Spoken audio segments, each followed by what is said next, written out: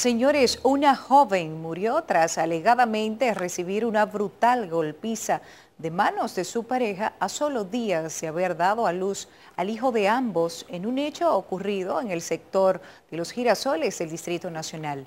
Y como nos cuenta Yasmiri Rodríguez, familiares exigen justicia y que se aprecie al victimario que está prófugo. Veamos.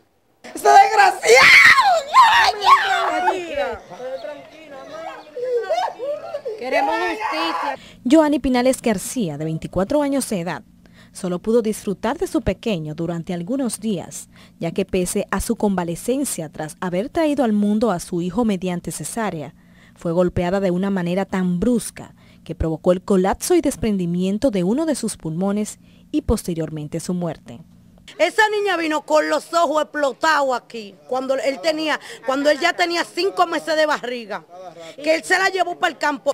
Por el hecho, sus familiares acusan a su esposo, identificado como Joan Maggi, quien alegadamente la maltrataba constantemente, situación de la que supieron cuando ya estaba hospitalizada. Nos preguntaron, eh, mi niña, fue un accidente porque ella está desbaratada.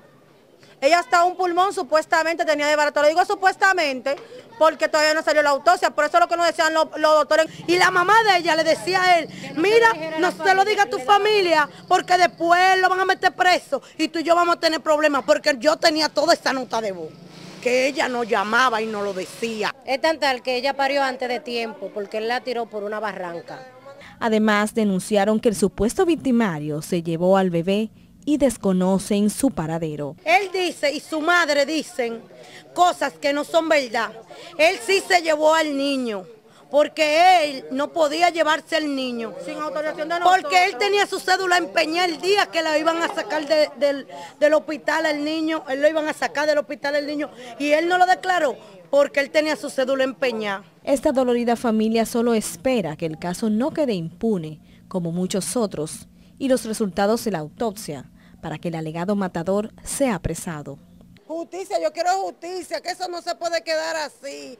Por eso que pasan tantas cosas, que matan tantas mujeres. Dios mío, presidente, yo quiero que llegue el presidente de la República, que, que agarren esos delincuentes, ese asesino. Pero un, un, caso así como el de Johanny Pinares García no se puede quedar impune. Es un psicópata. A su mamá, si usted es una madre y ha tenido hija, hembra, considere, hágase de cuenta que fue una hija suya que le pasó lo que le pasó a Johanny. Si usted es una madre, entrégalo. Como él dice que no tiene hecha ni sospecha, que se entregue. Los restos de la joven ni siquiera pudieron ser velados por el estado en que se encontraban, producto de los golpes. Fueron sepultados la tarde del jueves en el cementerio Cristo Redentor. Yasmiri Rodríguez, Noticias Telemicro.